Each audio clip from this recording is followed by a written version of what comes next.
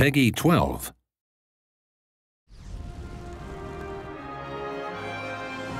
Welcome to the first installment of the MOBA Mastery series, where we'll give you some quick tips and strategies about Guardians of Middle-earth.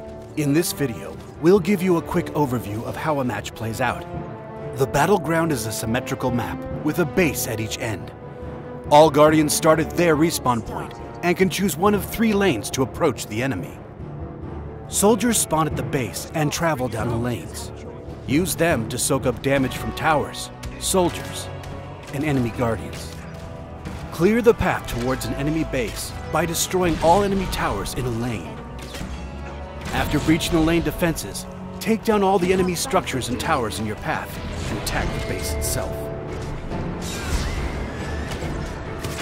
Destroy the base, or score the most points before the timer runs out to win the match.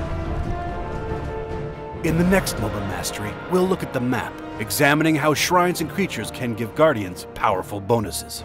For more info, check us out at guardiansofmiddleearth.com and follow us on Facebook and Twitter.